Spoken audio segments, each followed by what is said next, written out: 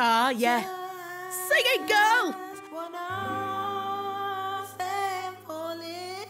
Welcome to Sound Representation. Once you've found your great sound, you've got to convert it from analog to binary so that a computer can process it. A microphone measures changes in air pressure.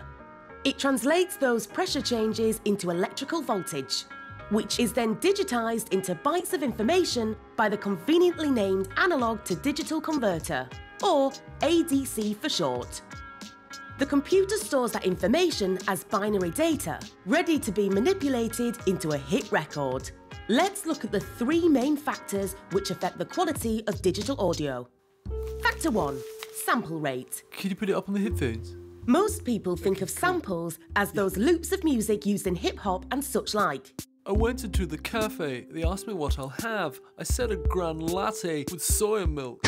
In computer terms, a sample is a very short recording made of a sound wave at a certain point in time. It's like a little slice of time in audio form.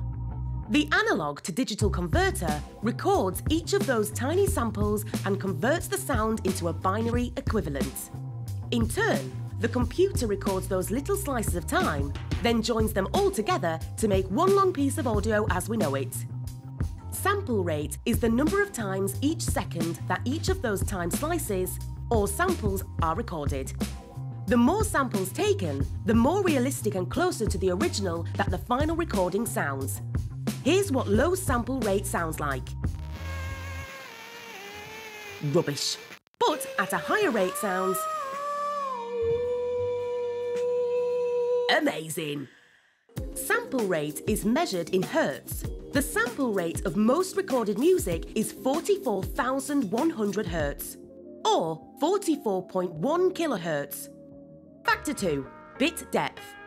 Bit depth refers to the number of bits, or how much data is used to store each of those individual little samples. A commonly used bit depth is 16, and that gives a resolution of over 65,000 possible values. But if you want super good sound quality, then use a bit depth of 24. That would give you over 16 million possible values and therefore very realistic sound. Factor 3. Bit rate. The bit rate of a file tells us how many bits of data are processed every second. Bit rates are usually measured in kilobits per second.